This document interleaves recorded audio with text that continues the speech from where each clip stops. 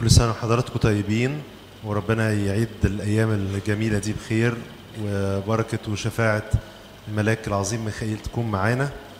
النهاردة الكنيسة بتحتفل باستشهاد اتنين من القديسين يمكن اسمهم أو ما هماش معروفين قوي لينا.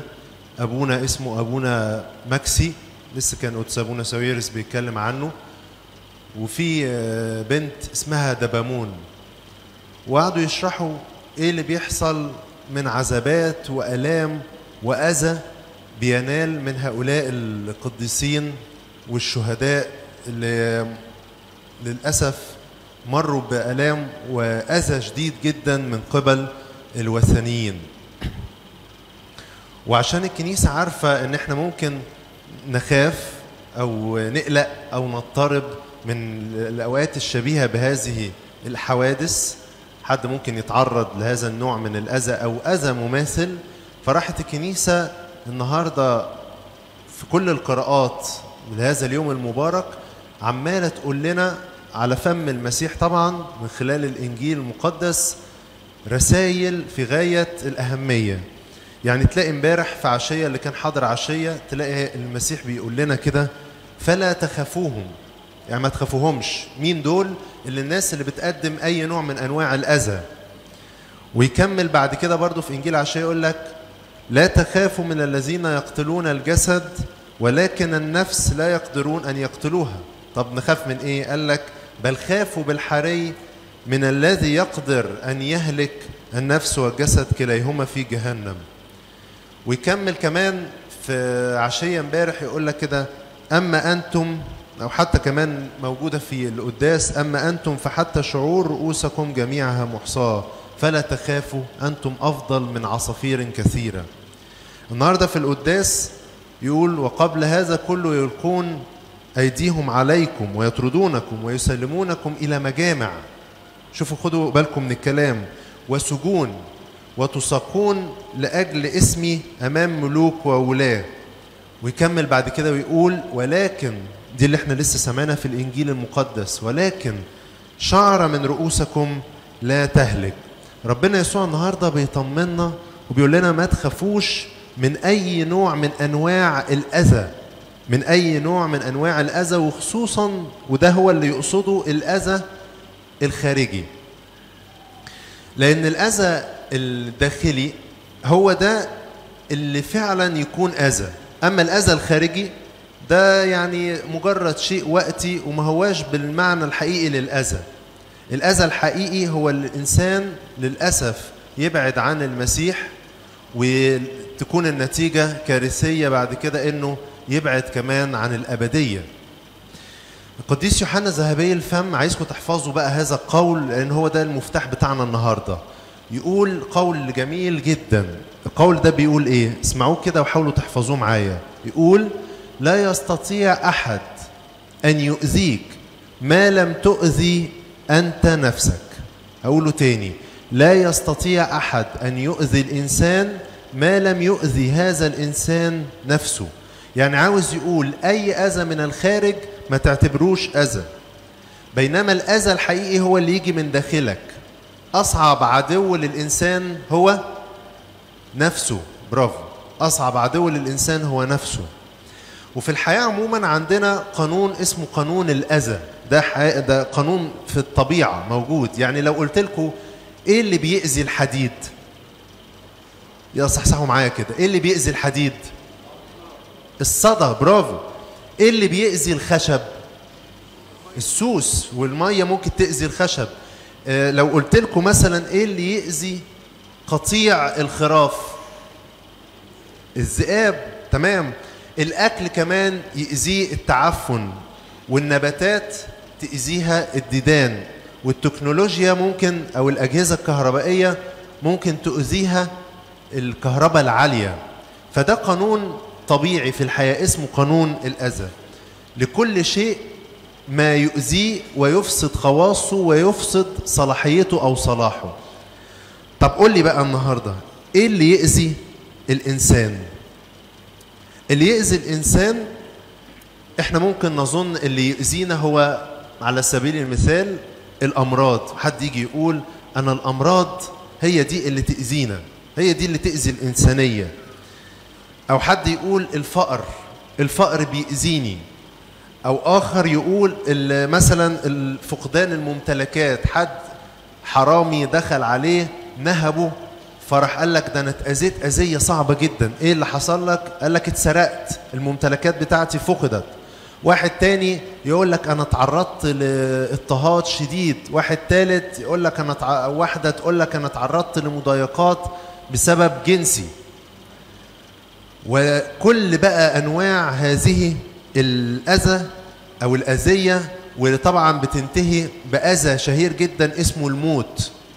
إحنا نتخيل إن هو ده الأذى ولما حد بيحصل له هذا النوع من الأذى إحنا بنفضل نرثيه ونقول له معلش. ونحزن جدا.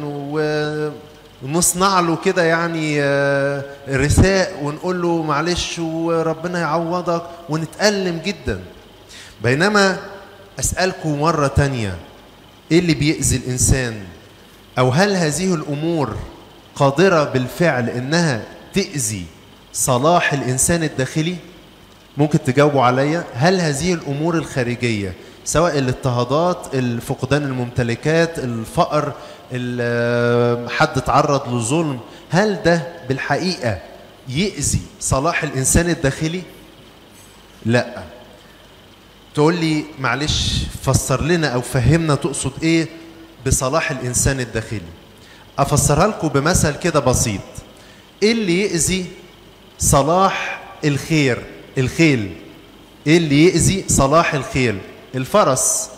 إيه اللي يأذيه هل مثلا لو الخيل ده محطوط له كده سرج معمولة من الذهب ومحطوط مثلا على رأسه تاج مرصع بالألماظ ولو محطوط على ظهره آه، الغطاء يكون مصنوع من الحرير مغطين شعره بأغلى العطور. هل الحاجات دي لو اتشالت من الحصان تفقده صلاحه؟ تقول لي يعني إيه صلاحه أصلا؟ إيه صلاح الخير أقول لك صلاح الخيل هو إنه يكون قوي. صلاح الخيل إنه يكون بيعرف يجري بقوة. صلاح الخيل إنه يبقى عنده شجاعة وإقدام. لو دخل حرب ما يهربش يعرف ينقذ صاحبه. هو ده فعلا الصلاح الخاص بالخيل. أما الحاجات الإضافية اللي محطوطة عليه دي لو اتاخدت ولا تأثر في الخيل طالما هو خيل قوي أو فرس قوي ومتين وشجاع ومقدام. فده اللي أقصده بصلاح الشيء. طالما الحاجات اللي من براه دي حاجات لا تؤثر في جوهر صلاحه يبقى الحاجات دي هامشية جدا. أسألك تاني أقول لك بقى إيه صلاح الإنسان؟ إيه صلاح البشرية؟ صلاح البشرية حقيقي؟ حقيقي ما هياش في الخسائر أو فقدان الخسائر ولا في في الأمراض ولا في التأثر بكلام الناس ولا في الموت. ولو وافقتني في هذا الكلام المفروض أنت النهارده وأنا ما نزعلش. لو حصل لنا حاجة شبيهة بهذه الكوارث أو الأذية الخارجية. أما صلاح الإنسان يكمن في استقامته. صلاح الإنسان يكمن في إنه آه، مرتبط بالمسيح ارتباط كلي. صلاح الإنسان يكمن في إنه بينفذ وصايا الله. وطبعا شوف حتى الشيطان لا يستطيع إنه يؤذيك طالما أنت مصحصح لنفسك وطالما أنت واخد بالك من حياتك الروحية وارتباطك بالمسيح. لذلك حصلت قصة في العهد القديم مع واحد قاسى كم اذى غير طبيعي. مين؟ أيوب. أيوب الشيطان عارف خدوا بالكم الشيطان عارف جدا وموقن تماما إن كل أنواع الأذية الخارجية دي المفروض ما تأثرش فينا. بس هو ساعات يثيرها ضدنا علشان يفقدنا ما هو أهم يفقدنا إيه؟ يفقدنا صلاحنا الداخلي. فيجي عند أيوب كده عشان هو عارف إن أيوب ده يوم ما هيتجرب بحاجة في مادياته أو في أسرته قال لك يمكن يكره ربنا وصلاحه ينتهي. فيروح مجربه في الماديات مش عشان يفقره. فاهم الشيطان طبعا إن الفقر ده ولا ليه لازمة قدام الأبدية. فيعمل إيه؟ يروح يحاول يفقده ممتلكاته علشان أيوب بعد كده يجدف على ربنا. يقول له أنت خدت مني النعمة. يجي الشيطان يحاول يضرب أيوب في جسده بمرض مرض واحد بأمراض علشان أيوب يحبط ويتهد فيقول خلاص بقى ما أنا الوقت اللي كنت بروح فيه الكنيسة ده زمان أنا ماليش في الكنيسة دلوقتي. فالهدف مش إنك تمرض الهدف إنك تبعد عن المسيح وتبعد عن الكنيسة.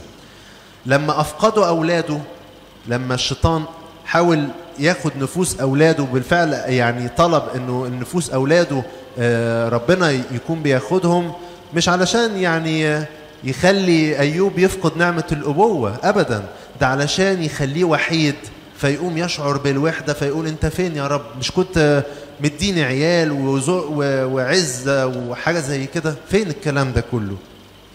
مش بس كده ده افقدوا سمعته كمان.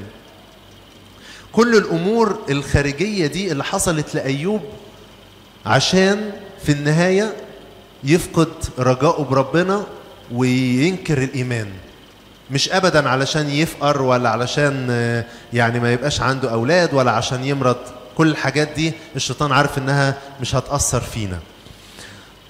وبالتالي كانت النتيجة اللي إحنا عارفينها كلنا إن أيوب لم يؤذى محدش أذى أيوب. حتى الشيطان معرفش إنه يؤذيه على الرغم من كل هذه الأذية الخارجية. وشوفوا يقول حاجة جميلة جدا. يقول إيه؟ قد علمت أنك تستطيع بيكلم ربنا. يقول له قد علمت أنك تستطيع كل شيء ولا يعثر عليك أمر. تستطيع إيه كل شيء؟ إيه؟ ده أنت فقد كل شيء. فربنا إيه اللي شفته يستطيع كل شيء في حياتك يعني. لكن هو ده إيمان أيوب. ويقول له بسمع الأذن قد سمعت عنك ولكن الآن رأتك عيني يعني ده زود إيمان أيوب مش أثر عليه بالسلب. لدرجة إن مراته قالت له قول برضه أنتوا أكيد تفتكروه أو عارفينه. قالت له إيه؟ قالت له أنت متمسك بعد بكمالك يا راجل. قالت له يا حد عارف؟ قالت له يا راجل مجد ربنا وموت. يعني يعني يعني اطلب إنك تموت أحسن. أنت لسه متمسك بإيمانك. فهو طبعا رد عليها.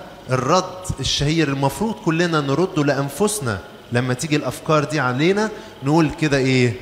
تتكلمين كإحدى الجاهلات. يعني أنت بتتكلمي زي واحدة اللي ما تعرفش ربنا. آه، الخير نقبل من عند الله والشر لا نقبل. ويقول لك كده تعليق في السفر يقول في كل هذا لم يخطئ أيوب بشفتيه. يعني النموذج الرائع ده أيوب اللي كابد الألام وتحمل هذه الألام واللي هي كانت أو الأذى اللي هي كانت مش من فعل شيطان آه، سوري مش من فعل إنسان وإنما من فعل الشيطان راسا. يعني إحنا ساعات الشيطان يهيج علينا ناس تأذينا. إنما اللي حصل مع أيوب إن الشيطان اللي ما فيش في قلبه رحمة ولا حب ولا خير واللي مليان قسوة و- وعداء وتعب وألم وكل حاجة وحشة جرب أيوب مباشره ومع كل هذا أيوب قال أنا لم يصبني ضرر أنا لم يصبني أذى. فإحنا النهارده المفروض نتعلم من هذا الشخص الجميل أيوب ومن كلمات النعمة اللي بنسمعها في الإنجيل إن إحنا النهارده ما نخافش. ما حدش يقول أصل دول ظلموني أصل دول سرقوني أصل أنا آه، جالي مرض أصل أنا آه، تعبت أصل أنا اتظلمت. ما تقولش كده ابدا. ولو قلت كده ما تعتبرش إن دي أذية. كل ما تتأذي من الخارج افتكر دايما أيوب وافتكر قديس النهارده اللي اسمه أبونا ماكسي ده والقديسة اللي اسمها دبامون. خد بالك صحيح ربنا مش هو اللي بيأذينا حاشا. لكن الله في صلاحه ساعات يسمح لنا بهذا النوع من الأذى. يعني ساعات يسمح ربنا إن إحنا نجرب في ممتلكاتنا. ساعات يسمح إننا نجرب في أجسامنا. بس ده مش لأنه هو اللي بيجيب الأذى ابدا حاشا لكن لأنه في خير معين ربنا شايفه هيحصل بسبب هذا الأذى. طيب زي مثلا إيه؟ زي الانبا بولا الانبا بولا في واحد أذاه. مين؟ ها؟ خاله أو أخوه. ساعات البعض يقول كده والبعض يقول كده.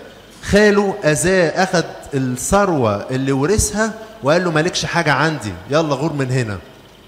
غار راح فين بقى؟ راح البرية وبقى اسمه منذ ذلك الحين بيسمع في الكنيسة من القرن إيه الثالث الميلادي لم ينقطع اسم الأنبابولة عن الكنيسة حتى هذه اللحظة. مين تاني؟ دانيال اللي اتعرض لأذى وظلم من قبل الملك وساعتها اتحط في جبل الأسود لكن ربنا بهذا الظلم أراد أنه يتمجد اسمه والملك تمجد آه، والملك مجد اسم ربنا. البابا شنودة ربنا ينيح نفسه لما تعرض للظلم أثناء رئيس الجمهورية آه، سابقا في وقته يعني آنذاك تعرضه للظلم ده خلى البابا شنودة يكتب في هذه المرحلة كتب عديدة وأمور أخرى كمان فيها خير. المؤامرة اللي تعرض ليها يوسف شوف المؤامرة اللي تعرض ليها يوسف ده أذى نفسي رهيب من أقرب الناس إليك الناس تكون بتظلمك أو الناس تكون بتعمل ضدك مؤامرات. شيء رهيب جدا. بس كان يقصد بهذا الأمر أنه يوسف بعد كده يبقى هو الرجل الثاني في المملكة في مصر هنا. أم الغلابة لو تسمعوا عنها اللي تعرضت للظلم من جوزها وفضل يهينها طول أيام حياتها لحد ما هي اجتذبته للمسيح بعد كده. لعازر كمان اللي تعرض للأذى في جسمه. عارفين لعازر؟ مين لعازر؟ لعازر والغني اللي حكى عنه الرب يسوع. فلعازر اتعرض لمرض شديد جدا في جسمه ولكن كانت إيه النتيجة؟ كانت النتيجة إنه وصل بسلام إلى الراحة الأبدية. أما الغني يقول لك فكان يتعذب ويقول لأبونا إبراهيم يا أبي إبراهيم ارسل لعازر علشان بس يبل طرف أصبعه بماء يبرد لساني لأني معذب في اللهيب. آه، أمور كتيرة طبعا نجيبها كأمثلة لكن أحب أختم تاني وأفكرك لا يستطيع أحد أن يؤذيك ما لم تؤذي أنت نفسك. اوعى من فضلك كلنا اوعى نأذي أنفسنا بإننا نفقر أنفسنا ونبعد عن غنى المسيح. اوعى حد فينا يفقر نفسه ويمرض روحه بكثرة الخطية. تحس إن روحك كده مرضانة بسببك إنك مخليها مهلهلة بالخطية. اوعى تقطع إيدك وتأذي نفسك إنك ما تديش آه، الإخوة المحتاجين وإنك ما ترفعش إيدك للصلاة. اوعى تظلم نفسك بإنك تبعدها عن النعمة والبركة وأوعى تموت نفسك بإنك تبعدها عن الكنيسة والإفخارستية. هو ده الاذى الحقيقي اللي ممكن أي إنسان يعمله لنفسه. وأخيرا افتكر قول بولس الرسول اللي يقول لك لأننا لم ندخل العالم بشيء. وواضح أننا لن نقدر أن نخرج منه بشيء. ونفتكر كلام المسيح لا تخافوا من الذين يقتلون الجسد ولكن النفس لا يقدرون أن يقتلوها بل خافوا بالحري من الذي يقدر أن يهلك النفس والجسد كليهما في جهنم. ربنا يكون معانا ويعطينا دايما إن إحنا ما نؤذيش أنفسنا ونتقبل كل الأذى الخارجي بصدر رحب وبصلاة إن إحنا نتحمل وناخد بركة الصلبان اللي ممكن تكون بتورد علينا من الخارج لإلهنا كل مجد وكرامة من الآن وإلى الأبد. آمين.